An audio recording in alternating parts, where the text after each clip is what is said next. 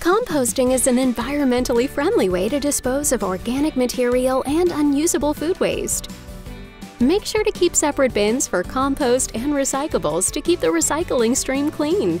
Certain food products and items can't be composted, so be sure to follow county guidelines for what to compost. With your help, we can reduce the amount of waste that clutters landfills. To learn more, visit our website, www.gobroomecounty.com slash solid waste slash recycling.